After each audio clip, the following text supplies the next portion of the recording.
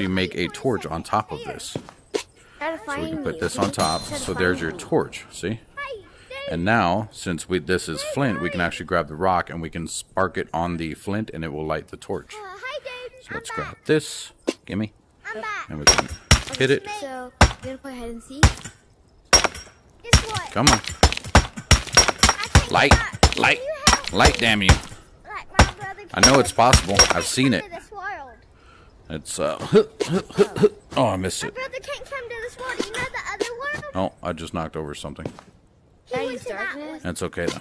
Alright, Yeah, so let's try this. Hey, hold up. Are we friends in the game? Yeah. Oh. There we go. Just in case So there's our torch with our axe.